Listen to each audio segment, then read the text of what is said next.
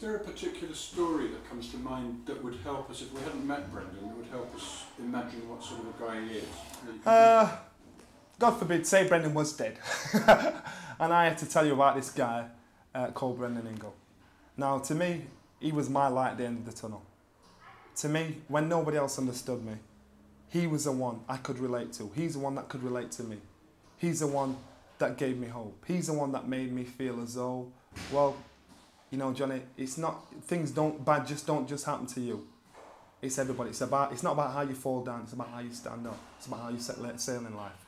Everybody's born with the same chances, no matter how rich you are or how poor you are. It's about how you take advantage of it.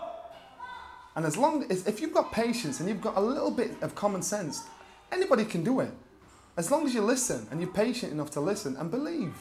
You know, you could call it brainwashing, you could call, you could call it whatever you want. But if it's brainwashing, it's good brainwashing because it gives me confidence in myself. It's about acquiring knowledge. And if you call acquiring knowledge brainwashing, well, I'm brainwashed because that's what I want.